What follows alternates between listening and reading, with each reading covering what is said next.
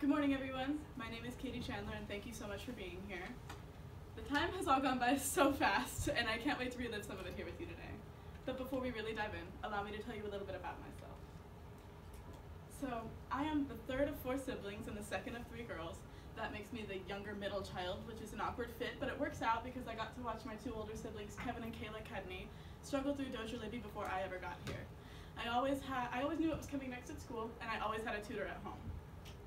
Also, uh, I was in a choir called Music Masters at Antioch High School for about two years. You can see me there. Uh, in that in that choir, I won an Inspirational Soloist Award. Um, last but certainly not least, uh, I was I played softball for about ten whole years, which is over half of my entire life. And um, in those years, I was a first and third baseman, as well as a pitcher and team leader on my team, Lady Buccaneers. My amazing teammate and catcher Kalani once said Katie's heart is a softball, and truer words have never been spoken. Softball is where my passion became visible. It was where I went to escape any stress and sadness. It was my sanctuary, and my team was my family. I grew as a player, a leader, and a person through softball. As for where I'm going, I will be attending LMC starting this summer. Uh, I will be studying sociology, and after I do two years at LMC, I want to transfer to UC Santa Cruz. As for what I want to be after I graduate from college completely, I don't know exactly for sure, but I do know that I want to help people. Um, this has led me to believe that maybe I want to become an academic or emotional counselor on campus at a school, maybe. Um, I want to be this because I would love to help mentor people and then later on get to watch them succeed. That's what so many people here in this room have done for me, including Miss Dorman. Um, and I would love to do that for other people. Without further ado, it's on to my personal statement. Though my years at Dozier Libbey were challenging, they shaped me into someone with an excellent work ethic and pulled me out of my shell. My time here is what made me realize I want to help people someday because this is what people here have done for me. I have grown so much, not only as a student, but as a person, and I can't wait for the world to see that. Every expert was once a beginner. Rutherford B. Hayes. I love this quote because it inspires me and it reminds me that no one was born a master of their craft. They had to work for it, which means that if I work just as hard or perhaps even harder, I can master anything I put my mind to. The picture you see is me at about 9 or 10 years old. That is my beginning phase of commitment to softball. That is me as a beginner softball player and pitcher. And this is me as a beginner writer. So for the sophomore year first semester English final, we had to write an argumentative essay taking a stance on whether or not juveniles should be tried as adults for serious crimes. I argued that juveniles should not be tried as adults for serious crimes, but I'm going to be perfectly honest with you. This is a horrible essay. um, you can see that it did not follow proper MLA format because my last name and the page number are not on the same line as each other, and both pages say that they're page number one. I, I don't know how to explain that. uh, as for this tiny paragraph over here, uh, it's three sentences long, and it's a counterclaim paragraph. Those paragraphs are supposed to be as long as, if not even longer, than the rest of the paragraphs in the essay, because you have to acknowledge a, an opposing argument, state why you are so correct despite that argument, and then logically prove it with evidence. And there's just no way I could have done that effectively in three short sentences. As for this paragraph down here, I repeatedly state that a minor's brain can't allow them to control the decisions they make, which isn't entirely accurate, but more importantly, I provide no evidence that would support the fact that minors' brains are less developed in that portion that controls rational decision making. Finally, for my conclusion, it's only two sentences long, and the first one is a run-on sentence with plenty of grammatical errors, but the second one just says, bottom line, kids are kids. And that is in no way an effective conclusion to any essay. Uh, an effective conclusion would be something that clearly restates your argument and then leaves the reader with something to think about. Now whenever I write essays, I always follow this advice, and I saw it on Tumblr somewhere. if you can't picture yourself dropping the mic after your conclusion, it isn't strong enough. I cannot picture myself dropping the mic after this conclusion. But although that essay was a flop, improvement can be seen in my junior year statistical analysis for Algebra 2. Whew. This essay was the math portion of a larger project called Night at the Medical Museum, and in that project we were split into groups and then given a disease and a time period to research in depth and then do a large presentation on. I got rubella from the 1960s to the 1970s. So for this part of that larger project, we had to find a graph online, like the one over there, and we had to analyze it using mathematical terms and concepts that we were learning in Algebra 2 at the time. This essay was a bit harder for me to write because it was math-based and I do struggle quite a bit in that arena. However, I still did good and I definitely improved from the last essay. Uh, you can see that I followed proper APA format uh, consistently, aside from the fact that running head goes along all three pages when it's really only supposed to be on the title page. But other than that, um, Ms. Piper gave me full credit in that category. Uh, Mrs. Piper was also my only target audience for this essay, so it was okay that I used mathematical terms such as observational study without actually defining it in the essay. But if someone who wasn't an expert at math like she was had read it, they might not have understood what I was talking about. And by the way, an observational study is where the researcher attempts to understand the cause and effect relationship between two things that are going on, like rubella and the time period of the outbreak. Um, but in this kind of study, they are not in control of their population or the kind of treatment that their population is receiving. So for the graph I chose, right over there, it is displaying the rate of infection per every 100,000 Americans in a given year. And to be successful in writing this essay, I had to analyze the type of study it was, hypothesize how they may have conducted the study, and then identify any potential bias the researcher could have had unintentionally.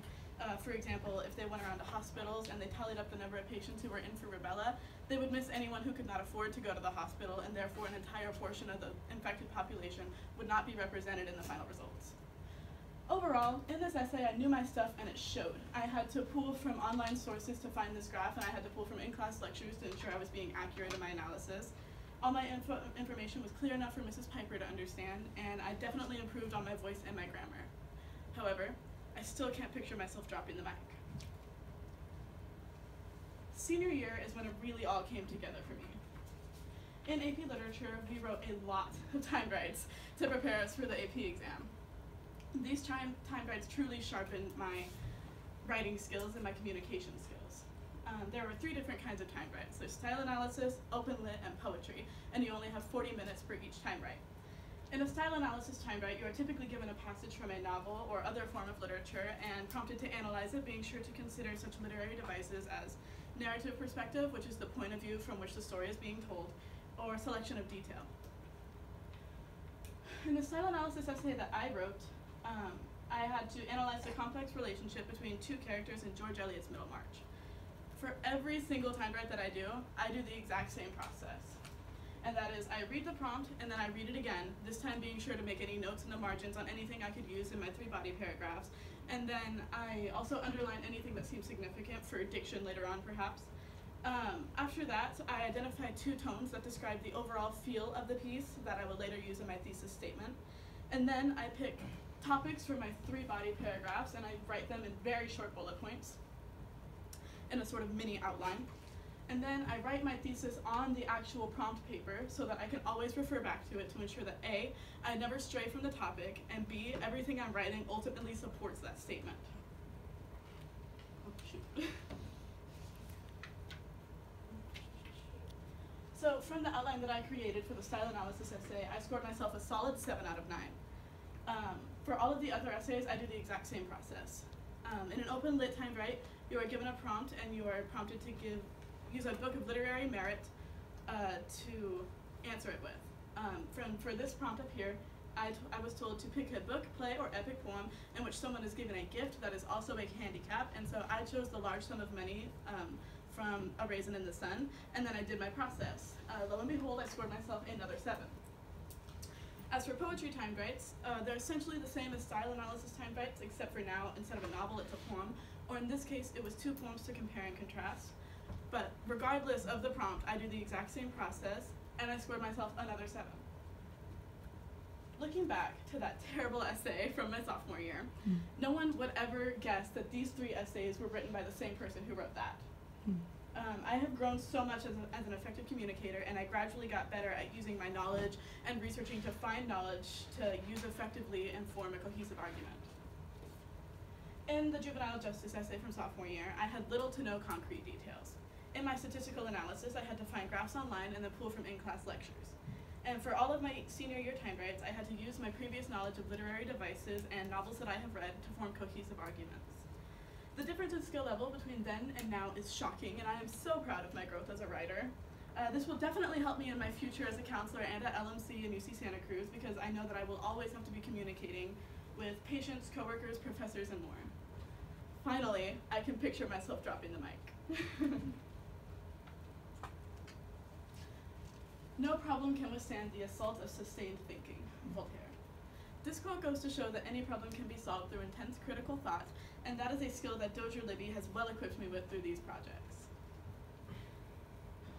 The Complementary and Alternative Medicine Project, otherwise known as the CAMP Project, uh, was intended to make us more culturally aware and sensitive people. For this project, we were split into groups and we were given a disease and location in order to do, uh, we had to research it in depth and then do a large skit presentation on it. Uh, within that skit, we all had roles, uh, such as an allopathic physician, a patient, traditional healer, and a cultural specialist, and that one was my role. Uh, all these different roles worked to show all of the different perspectives that were involved in the healing process, as well as to explain why a traditional healer might disagree with an allopathic physician about uh, the correct healing method for a patient. Uh, my group got Yaws in the Solomon Islands, and Yaws is a disease that is characterized by painful sores and lesions, as you can see on the child in the picture here, as well as joint and bone pain, and in severe cases, disability and disfigurement. Uh, the citizens of the Solomon Islands have very different beliefs than we do here in the US. Uh, for example, they believe that every disease has a spiritual cause to it and therefore has a spiritual solution. Oftentimes, they will use black magic to try and pull a bad spirit out of the infected person. This project forced us to use technology to research the rich history of the Solomon Islands and their way of life, which is very different from our own. And we had to really think about a solution to a problem that doesn't really have a clear solution and try to work effectively but also respectively with someone with a very different culture than our own to actually treat them in a way that doesn't disrespect them. This project set the stage for the much more in-depth and interactive International Economic Summit, otherwise known as IES. IES was essentially a series of projects that prepared us for one big day that is called Summit Day. Um, for this project, uh, we started by splitting into groups um, and picking a country along with a health equity issue that plagues that country. Uh, it is important to keep in mind that the overall goal of IES was to improve the standard of living for the people of our country. My group chose South Korea, and our health equity issue was the alarmingly high suicide rates, especially among the elderly there. Uh, and the first portion of this big, great big project was the informative essay. Um, in this essay, we had to research the history, culture, music, arts, uh, health equity issue, and more about this country. And for this essay, me and my group ended up with four whole pages of works cited, which is more than I've ever had, which just goes to show you how deeply we researched into this. And all that research really paid off when we scored a 9.75 on this project. After that, we had to focus on the pictocharts and the motion graphic. The pictocharts were to go onto our trifold display over there, and um, they essentially said everything we put into the informative essay, but in much shorter and more concise bullet points, along with helpful images to ease understanding. Uh, then we had to do the motion graphic, which uh, essentially explained our health equity issue uh, and how truly terrible it was in our country, and how we plan to solve that issue. And for these two portions of the project, the motion graphic and the picto charts, my group split it up so that it was me and my group mate Aaliyah doing the motion graphic together, and uh, Haley and Timmy, my other teammates, working on the picto charts. So focusing on the motion graphic, me and Aaliyah had never ever made one before, and we had to truly adapt to this website called Powtoons, which is uh, just a website that helps beginner motion graphic makers uh, make something still engaging, despite being new to the art. Uh, we made a joint decision together to not include any sensitive or triggering imagery because um, our topic is so sensitive and we know some people might, you know, feel a way about it.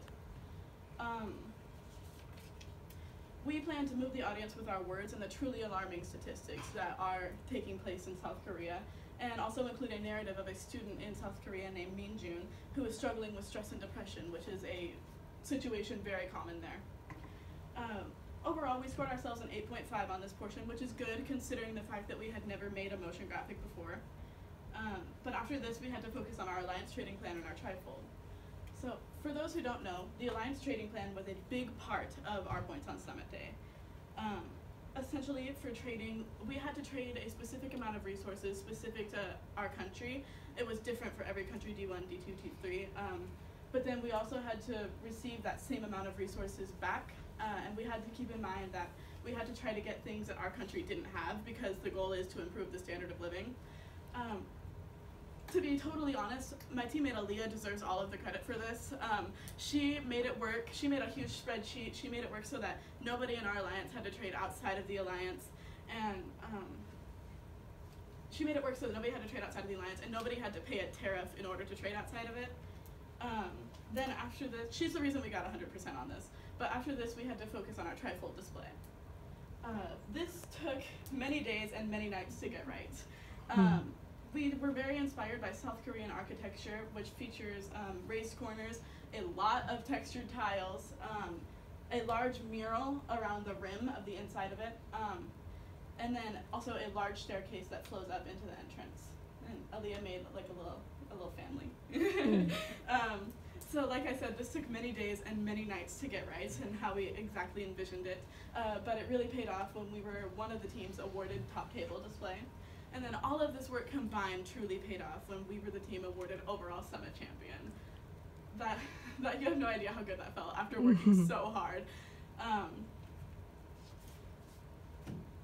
so these projects required us to face a tough problem that does not have a clear solution, and then use technology to find out more about the issue and ways that we could solve it. It's because I now have these skills, I can use them in my career when I have to help patients identify the problems they're having, and then use what I know to help them find a solution that works for them, and also respects their cultures. The pessimist complains about the wind.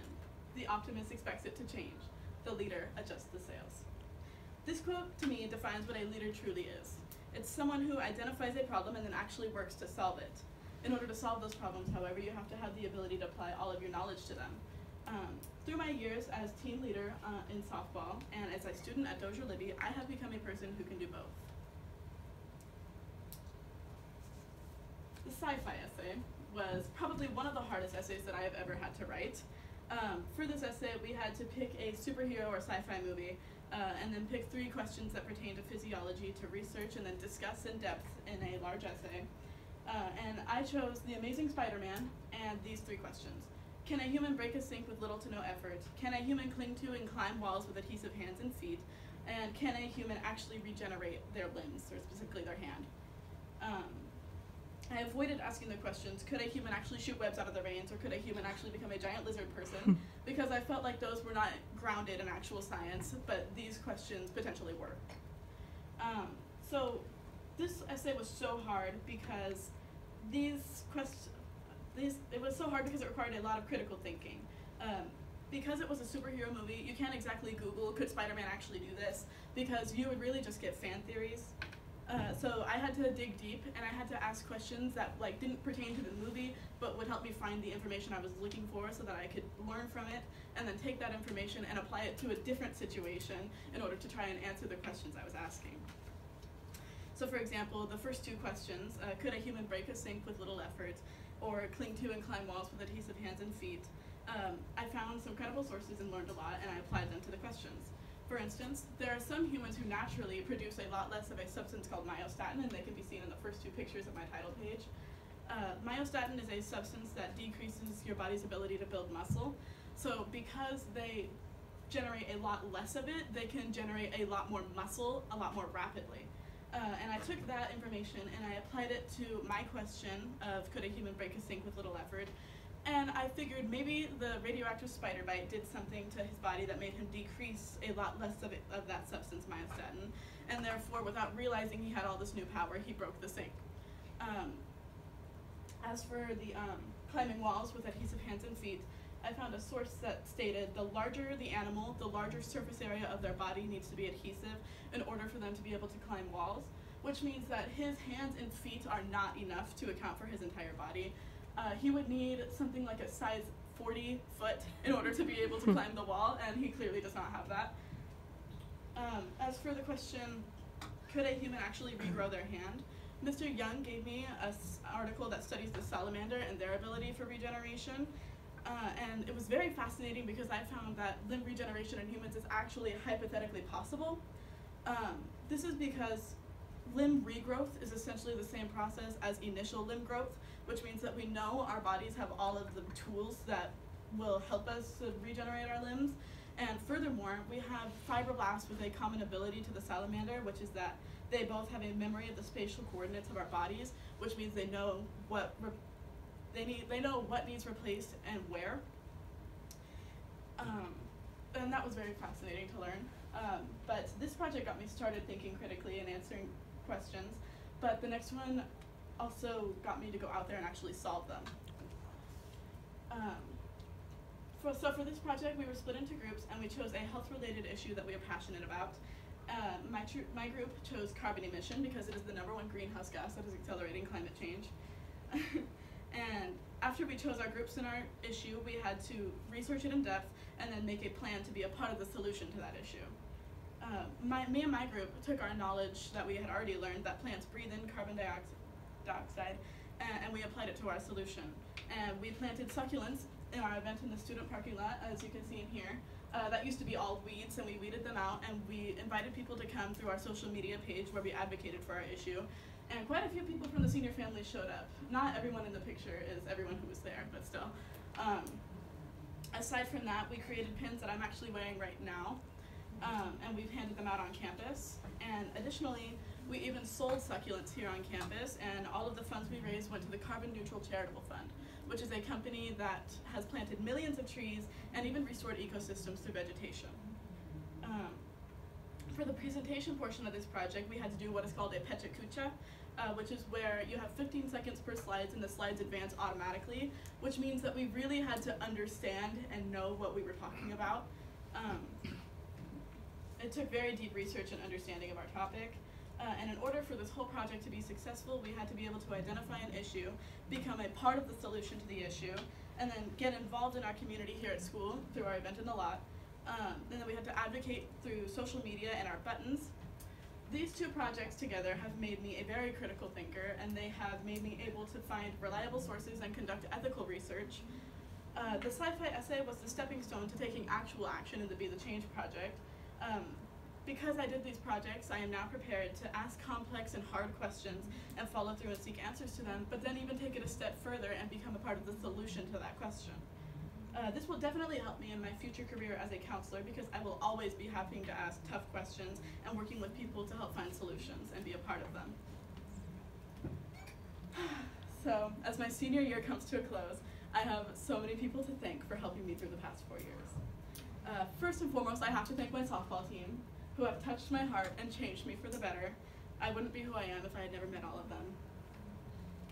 I also have to thank my friends, uh, both new and old. Sheena, Haley, Snowy, Timmy, Caitlin, and of course Terry. Uh, you all have supported me academically and emotionally through so many obstacles, but also given me so many fond memories that I will cherish forever. And last but certainly not least, I have to thank my family. Um, I lost my card. my big brother Kevin is the best tutor ever, and he has spent many nights with me uh, working with physics and Algebra 2 homework, and he's the only reason I got a B in algebra last year.